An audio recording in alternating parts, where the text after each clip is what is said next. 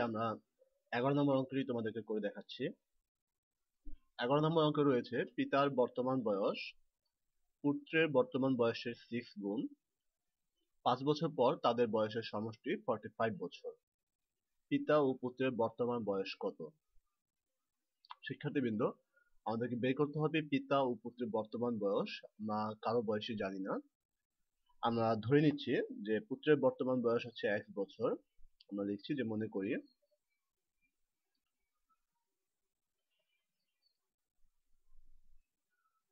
পুত্রের বর্তমান বয়স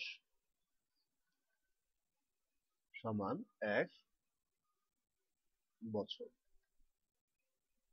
এবং সরি এবং না, এখানে লিখতে হবে যে সুতরাং পিতার বর্তমান বয়স?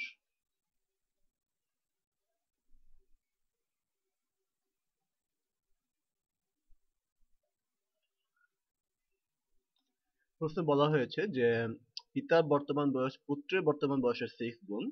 আমরা যেহেতু পুত্রের বর্তমান বয়স ধরে নিয়েছি এক বছর, তাহলে পিতার বর্তমান বয়স হবে এই এক্সের ছয় গুণ, অর্থাৎ সিক্স এক্স বছর। এখন তাহলে পুত্রের বর্তমান বয়স যদি এক্স হয়, তাহলে পাঁচ বছর পরে তার বয়স হবে এক্সের সাথে ফাইভ যোগ করতে হবে। সেজন্য আমরা লিখব পাঁচ বছর পর,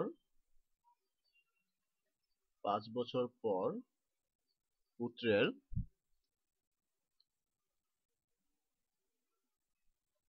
বয়স হবে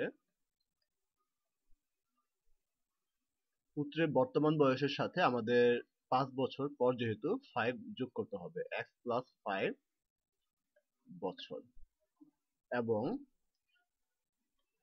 পাঁচ বছর পর পিতার বয়স হবে, এখানেও ঠিক একই রকম ভাবে পিতার যে বর্তমান বয়স ছিল সিক্স এক্সের সাথে আমাদেরকে ফাইভ যোগ দিতে হবে।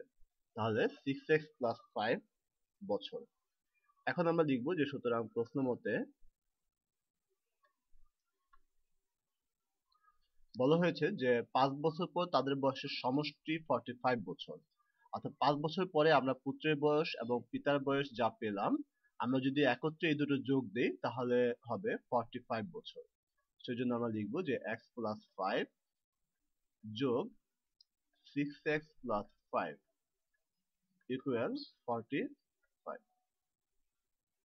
এবার আমরা ব্র্যাকেটগুলো উঠিয়ে দিচ্ছি এক্স প্লাস ফাইভ যোগ six x plus five equal forty five এখন আমরা বাম পাশে দেখতে পাচ্ছি, এখানে একটি এক্স এবং এখানে ছটি এক্স যোগ করলে হয় সাতটি এক্স এবং ফাইভ ফাইভ যদি যোগ করি তাহলে হবে টেন ইকুয়াল ফর্টি ফাইভ বা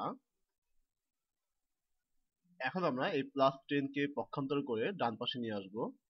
ফর্টি ফাইভ মাইনাস টেন পক্ষান্তর করলে চিহ্ন পরিবর্তন হয়। সেজন্য প্লাস টেন মাইনাস টেন হয়ে গেল। আমরা সাইড নোট দিব পক্ষান্তর করে। বা seven x equal forty five থেকে যদি আমরা টেন মাইনাস করি, তাহলে হবে থার্টি ফাইভ বা এবারে সেভেন এক্স থেকে এক্স ইকুয়াল হবে যেহেতু সেভেন এক্সের সাথে গুণ অবস্থায় ছিল, ডান পাশে এসে ভাগ হয়ে যাবে। দ্যাট মিনস থার্টি ফাইভ ভাগ সেভেন বা এক্স সমান হবে। আমরা যদি সাতের নামটা পড়ি, তাহলে জানি যে হয় পাঁচ শত পঁয়ত্রিশ, অর্থাৎ ফাইভ এখন আমরা যেহেতু এক্স ধরে নিয়েছি পুত্রের পুত্রের বর্তমান বয়স, সেজন্য আমরা লিখতে পারি যে সুতরাং পুত্রের বর্তমান বয়স পুত্রের বর্তমান বয়স